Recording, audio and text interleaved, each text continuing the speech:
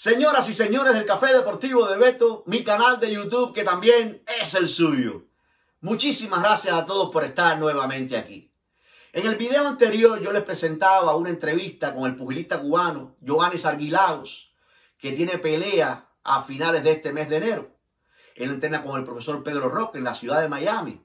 Bueno, aprovechando mi visita, también nos sentamos a conversar con el que nació en Arroyo Naranjo, en la capital cubana, Rancés Bartelemí, que de igual forma entrena con el profesor Pedro Roque. Esta es una entrevista que usted no se quiere perder ni un solo segundo de la misma, porque no tiene desperdicio. ¿eh? Para Rancés Bartelemí, el 2020 fue un año de pesadillas. Ustedes se pueden imaginar, él vive en Las Vegas con su familia. Estuvo en dos ocasiones en Miami entrenando para su pelea contra el dominicano Alberto Puello. Y producto de la pandemia, en las dos ocasiones las peleas fueron pospuestas. En otras palabras, no vio acción. Ustedes se imaginan, después de tanto sacrificio, meses entrenando, dejar a la familia allá en una ciudad diferente a la que te encuentras y que al final no puedas trabajar, sí, porque después de todo este es el trabajo de ellos. No, si no trabajas, no ganas. Y Rancé Bartelemí tiene algo en mente que le da como la gasolina, le da esa motivación. En los momentos complicados, eso que tiene en mente te levanta el ánimo. Y es que él tiene la posibilidad única de convertirse en el primer cubano en ser campeón mundial en tres divisiones diferentes. Lleva más de un año ya con Pedro Roque entrenando en Miami. Más de un año. Sin embargo, todavía no ha podido efectuar su primer combate con Pedro Roque en su esquina. También tiene un gran preparador físico, el mexicano, el Memo Heredia. Así que vamos a ver. Ramsés Bartelemí tiene los dedos cruzados. Él quiere pelear. Por ahora, el 30 de enero. Pero escuche bien la entrevista y después sacamos nuestras propias conclusiones. ¿Qué le parece? Aquí está Ramsés Bartelemí. Difícil el 2020 para ti porque en dos ocasiones tenías pelea contra Alberto Pollo, bueno, y las dos ocasiones se canceló. ¿Qué podemos esperar ahora en el 2021? Bueno, eh, sí, el, el, año pasado fue un año crítico para mí, ¿no? Ya que he sufrido desilusiones consecutivas debido a la pandemia y debido a otros problemas a, a, a través de la raíz de la pandemia. Nada, eh, este año espero retomar y recuperar algo de tiempo perdido, que nunca se puede recuperar el tiempo, pero bueno, eh, en cuanto a pelea y eso.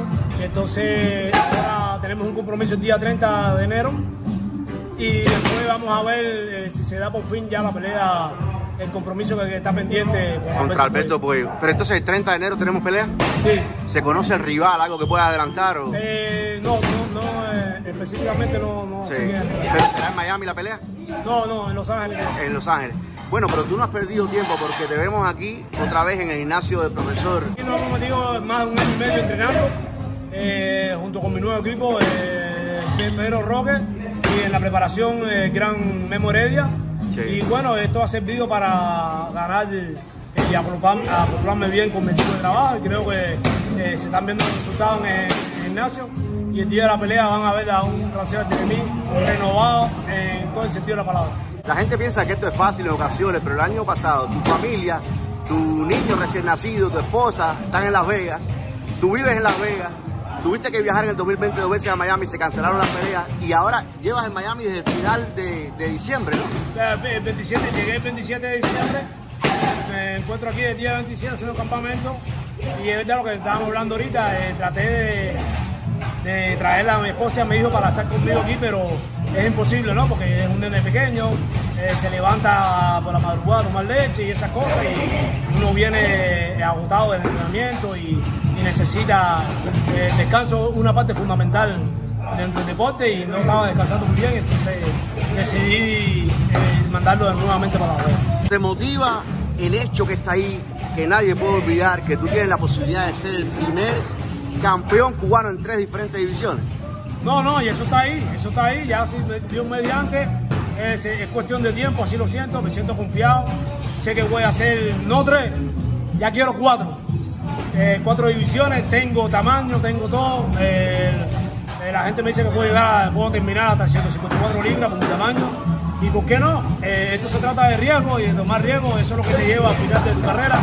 Las grandes peleas, las grandes, grandes recuerdos, eso es lo que uno se lleva al final de, de todo este sacrificio. Y con Pedro, eh, esto es como una familia, ¿eh? la, otra vez lo hablamos también, ah, vemos una cantidad de muchachos aquí. Eh, es, importante estar en un lugar donde te, recibe siempre con los brazos abiertos, ¿no? No, Pedro tiene una calidad, una metodología y una calidad ser humano de, humana grandísima. Con Pedro he retomado mis orígenes. Me siento, vaya, como nunca me he sentido en mi carrera, en toda mi carrera amateur profesional. Pedro, eh, mucha gente piensa que no, pero Pedro ha madurado muchísimo como entrenador porque ha hecho, se ha visto que ha hecho la transición eh, muy rápidamente de, lo que es boxeo olímpico Mateo a profesional y creo que, eh, vaya, no me puedo quejar, estoy en, donde tenía que estar. Pues mi amigo Rancés, te deseo lo mejor en este 2021, que puedas pelear, que puedas ganar y que puedas convertirte en el primer cubano campeón en tres diferentes divisiones.